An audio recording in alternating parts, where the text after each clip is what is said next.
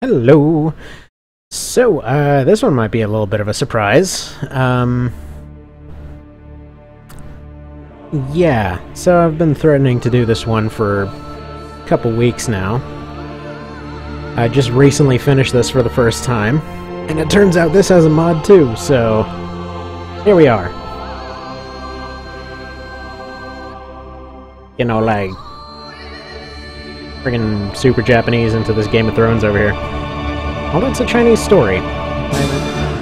Like Japanese stylings with kind of a Chinese setting.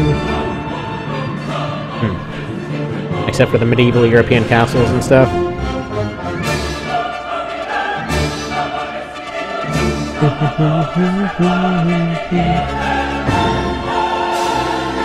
so, taking bets on how many people survive to the end of the story.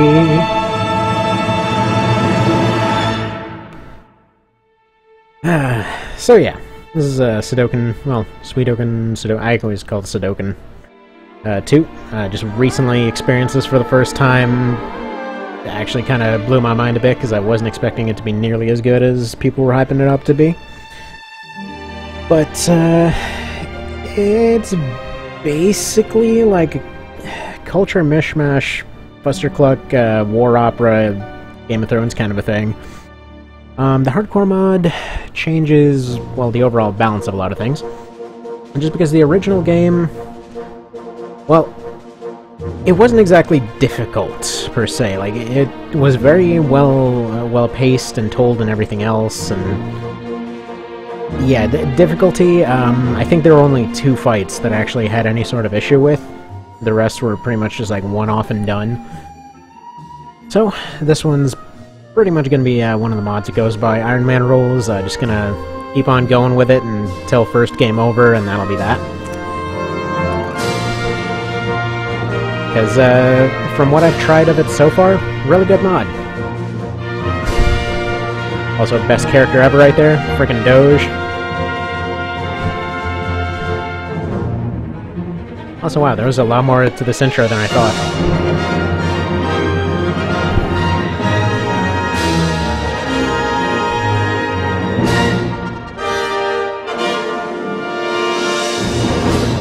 actually thought it kind of ended back there with Luca looking all crazy. Hmm. Oh well. Any darn ways. Where's my friggin' mouse to actually click on this thing? There we go.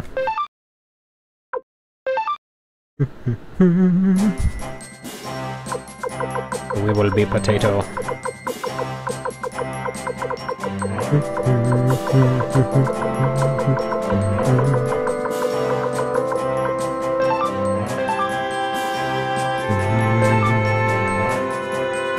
Arguably I should, but not gonna. Also turn down that volume a little bit, because it's kind of blowing my eardrum out. So yeah, this is like a, uh, I would say, unusual JRPG that pretends to be a strategy RPG every now and then. And, um, kinda, sorta does the whole, like, Persona thing, except in a much more low-key manner. Like, honestly, 90% of this thing is pretty much for flavor. well, yeah, I mean, the war is basically supposed to be over here, so yeah.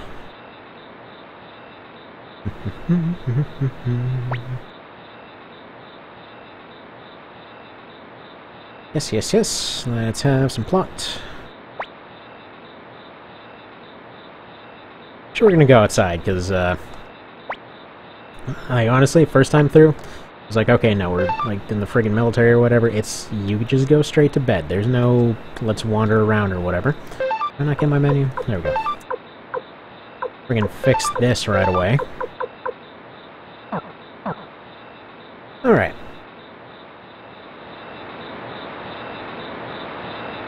So there's pretty much only two areas you can go Yeah, so go to sleep or he'll be mad. Yeah, so we probably totally should go do that. But this is their opportunity to, uh, this is the opportunity for you to explore, and they do this a lot of times, so that you don't necessarily get lost. Like, okay, there's a cliff up here, you know, the characters would probably already know their general location, but Gives the player a bit of time to go around and take a look. And that's all well and good. All these guys are pretty much excited to be going home. I'm sure they'll definitely be doing that. yep. Sure, it's going to be a great day. You'll live to see it and everything.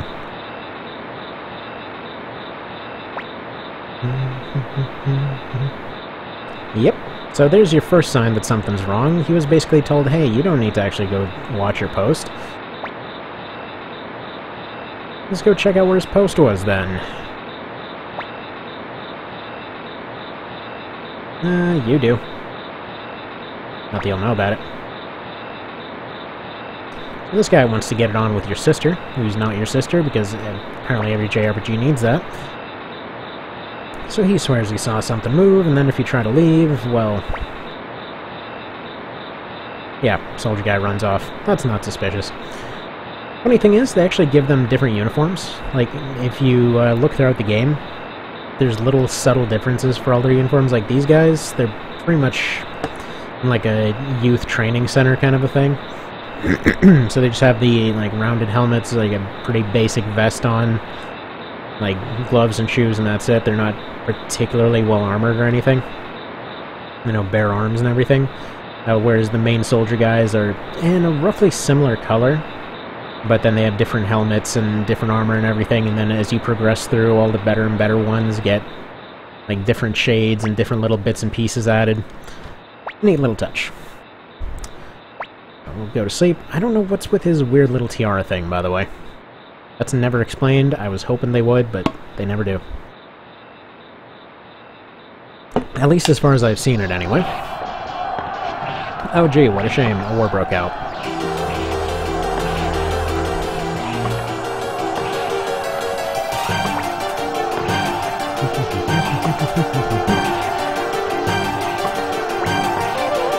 By the way, you get this over and over, every single time. Every time somebody leaves or joins, uh, they give you the little, here's their stats, and they've just joined thing again. It's a neat little touch.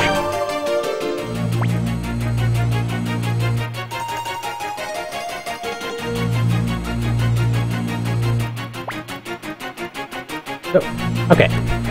It's funny because at this point, you can kind of see this story from two different perspectives, right? Because if you go to the left, like, honestly, I completely forgot what direction he was talking about, and I went around examining everything.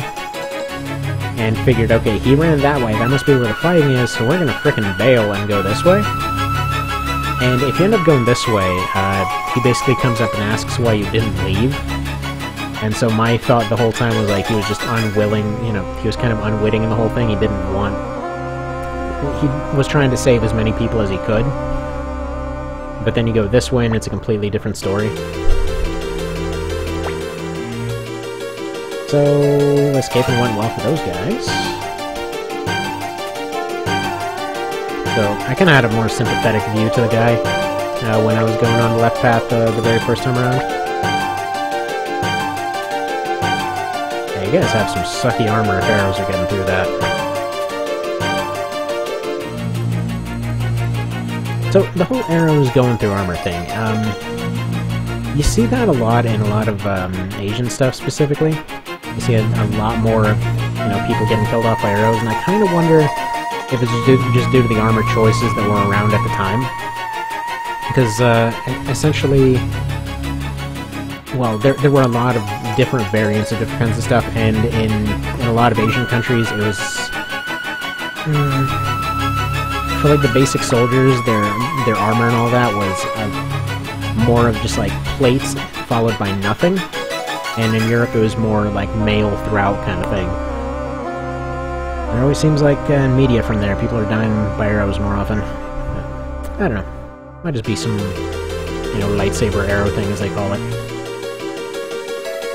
They have to know that. Also, I just want to point out, Jowy seems a lot more intelligent if you take the right uh, the right approach here.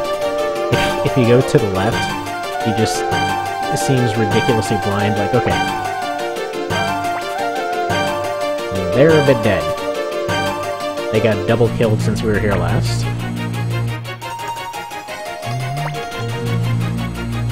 Why these two don't get ambushed, who knows?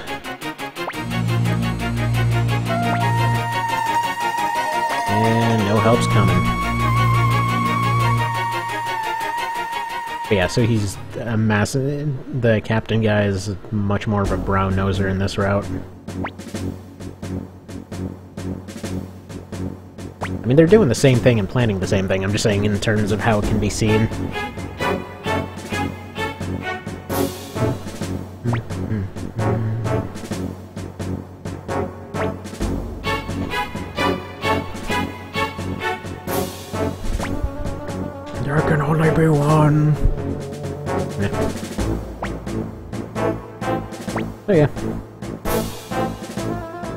This, by the way, is basically Jowy's approach if you end up going left. Like, no, we have to go report to the guy like complete retards. Instead, he's like, no, let's just freaking leave, because...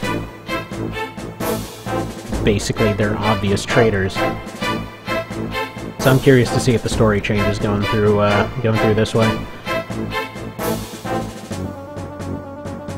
Like, if you end up going here in the first place, uh, you start trying to climb, I don't think you even get a chance to try climbing in this case.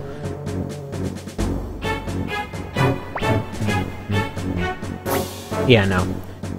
Because he try like, uh, Jowy tries to climb and he just falls right the hell down.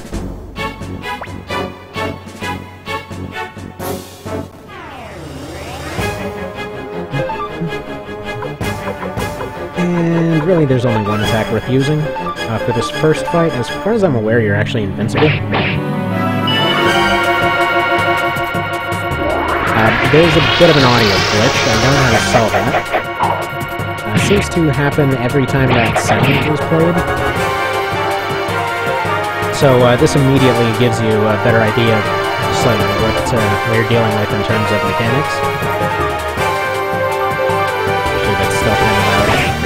There we go. So you get more unbalanced, you get blinded from hits, and that sort of thing.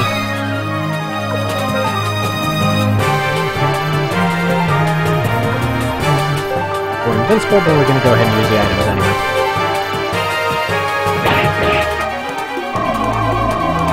On base game, you would use one Unite attack, and then this entire party would pretty much be wiped.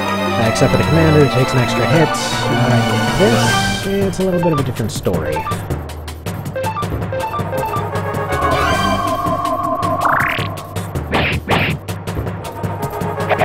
Because yeah, it's a, it's a little bit ridiculous. Uh, say this is still ridiculous, but like okay, base game version of this, like when oh dang, firewall does a lot more.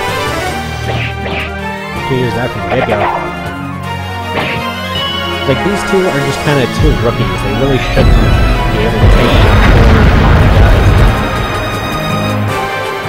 Nice. Yeah, that does 60 in base game. It does 200 now.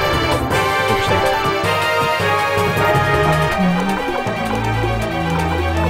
Let you medicate yourself, even though, like I said, there's not really a point.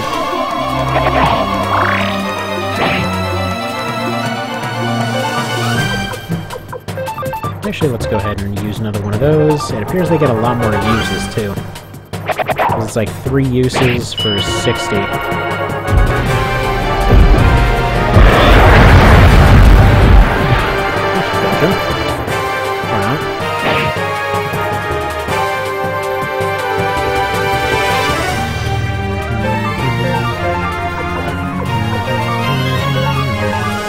Oh, they have uh, sacrificials. That's what's going on. They're not useful at all. Okay, they missed their mission, I accept.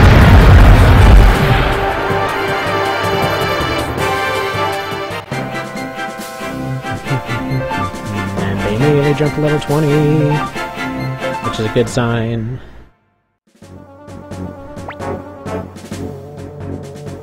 He'll be right back. Uh, he actually attacks you directly, I believe, um, in the other route. Guess there's no other way.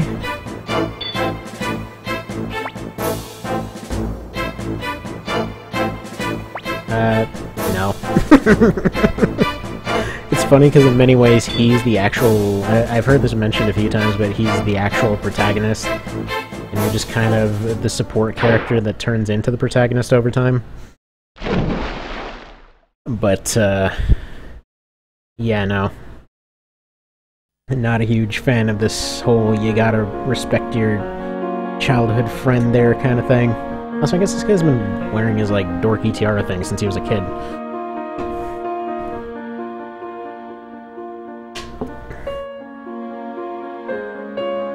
But, um, I don't know. Every time that there's, like, a forced childhood character or whatever else, you're like, no, like this character, like this character. Like, every single time, like, no. I want to get rid of them as fast as possible. Don't want to tag along, dang it. I want to pick my own tag-alongs. want all my generic units. I don't want any of these characterized people. What are you doing? Yeah, I know, it's a, it's a weird approach, but just always bugged me.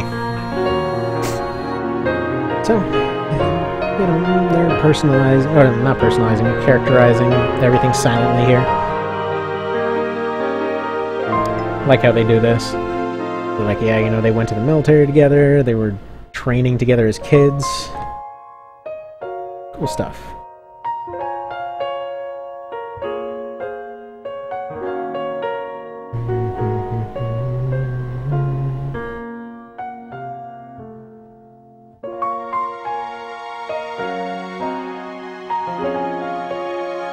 And yeah, then they go off, because it's, I guess it's kind of like a Switzerland kind of thing, where they get mandatory training. I guess a lot of Western Europe does that too. Which makes sense. I mean, in many ways, then, you know, at times I've thought about going into that sort of thing. Like, you know, would be a good skill set to have, but oh well.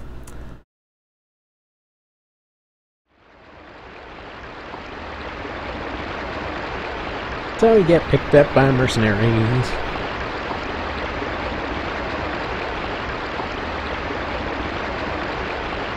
Man, that headache effect looks weird in this one. I am potato.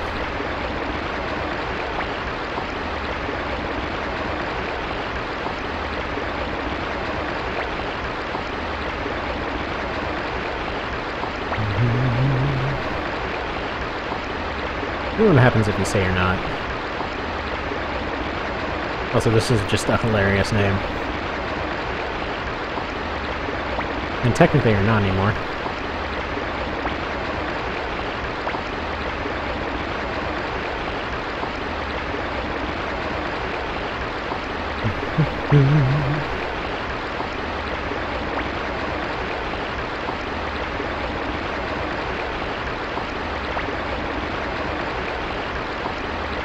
I don't.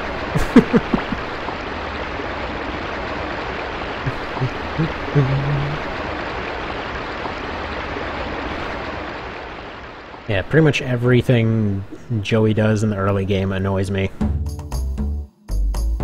Like, these guys are obviously okay. It's a very obvious thing that you got betrayed. And he still forces you to go back and, you know, figure stuff out more or less.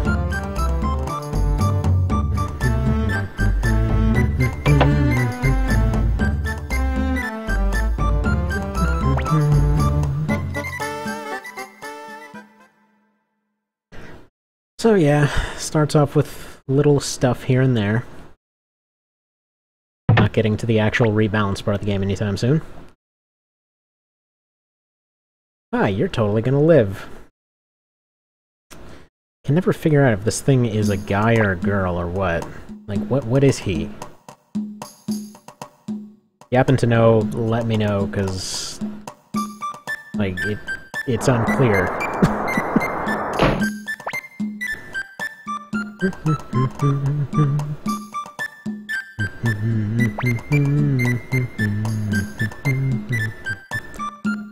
really need to clean up a rope in a storeroom? I think you get rated differently depending on how you put these away. Personally, I think, you know what, these people basically took you in after you got stabbed in the back. I think it's fair to assume good intentions on their part. Might as well be nice about putting their stuff away. Like, this is certainly no waterboarding or whatever else, so...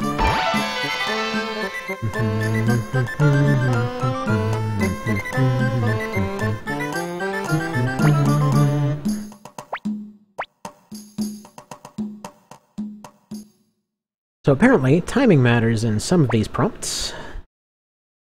Now there's one character later on that apparently you're supposed to be able to save off of ridiculously specific conditions. But I'm never gonna 100% this, so meh.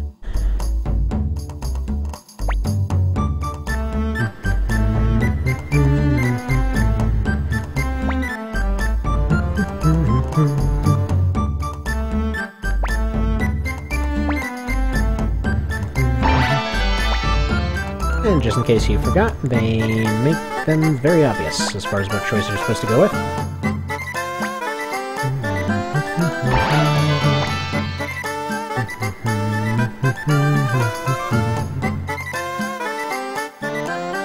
I'm gonna try to skip through this as fast as possible. Okay, can't get that. Go back to the guy, or girl, or whatever the hell you are.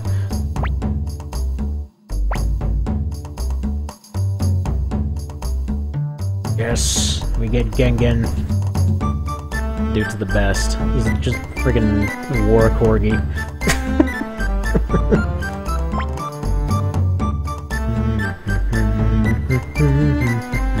Your best character.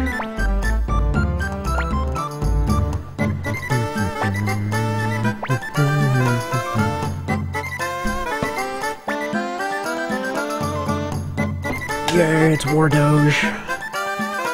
God.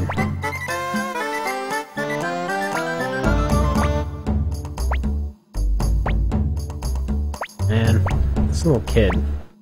Why? Like, we think it might be a little bit dangerous. Here, bring this child along. But no, he's mostly there because he has the the uh, medicine rune.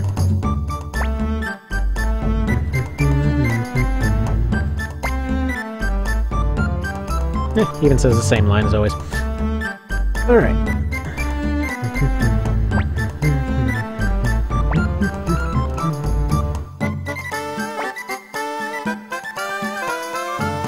Exactly, and he'll retain that title forever.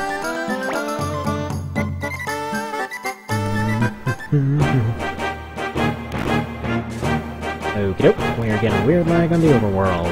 That's nice. That's a fantastic sign. It's like walking through molasses. Alright, first off, I just want to get into a random fight here to figure out if, uh...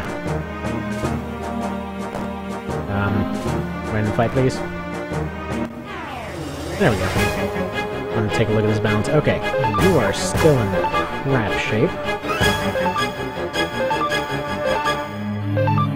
Wait a second, those guys are way later in the game. What are they doing here?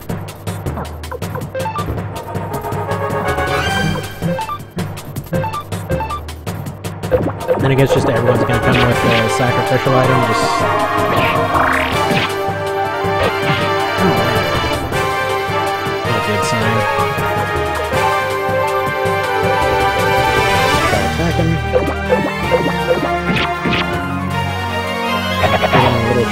should auto-heal. Okay, great. Awesome.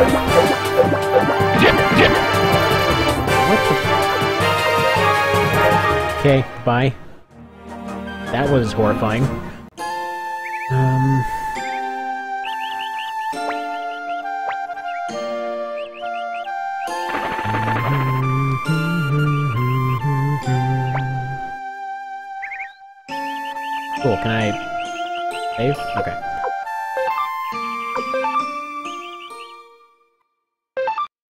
As you can see, it's a bit more unforgiving, which is which is good because, well, it kind of needed it. Uh, problem is, um, and it looks like I need to have that one grind fight with everybody, so. Eh, that overworld lag isn't looking too good though either.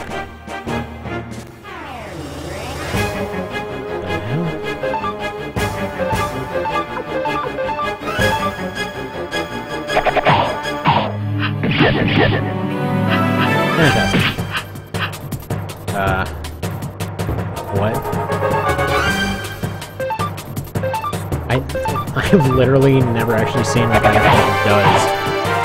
That's how little it actually came up in base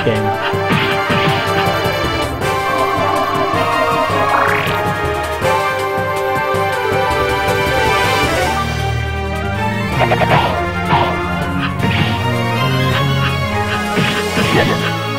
Okay.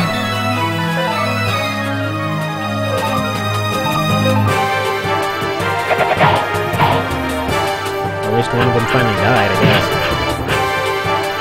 I don't know if this means they won't get XP for the fight, though.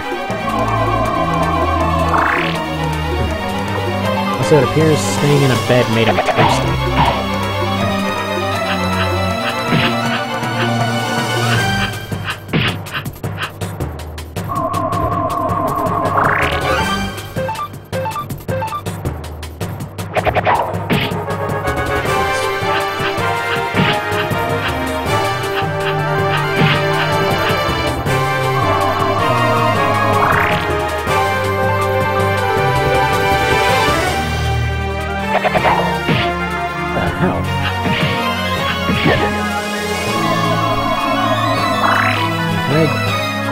Or something? Eesh. Brutal doesn't begin to describe it. Hmm. Also, if you happen to know a solution for this overworld lag, that'd be dandy. Okay. So they just flat out can't fight. Neat. Go over here and disconnect their balloons.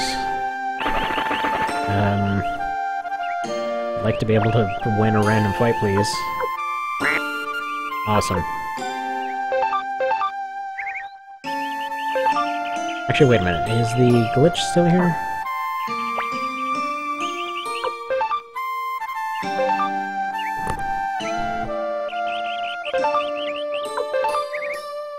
I think if you just save and leave, I...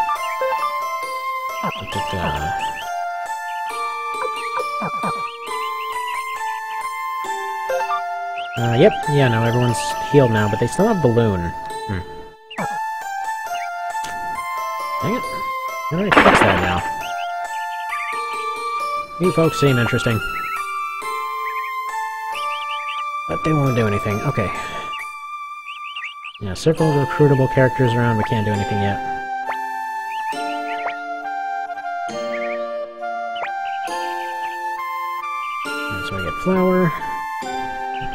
Sure you'll survive past the next few minutes.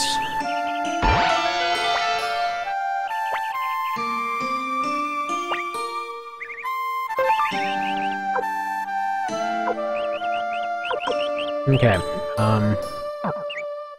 Mm, we have a problem.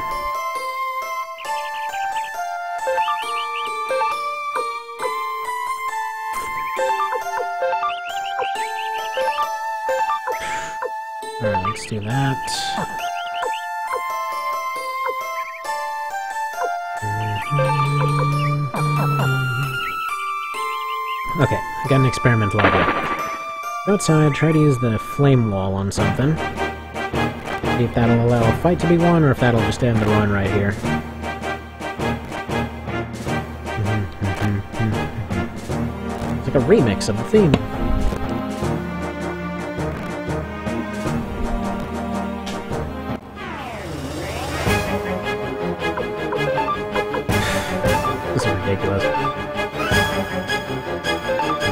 Try this.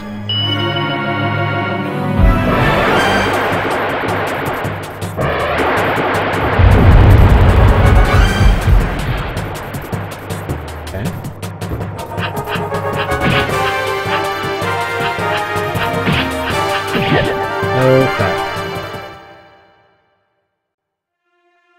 Seriously though? You can run from everybody getting balloons attached to you. So it's a bit of a difficult mod, I will say that much.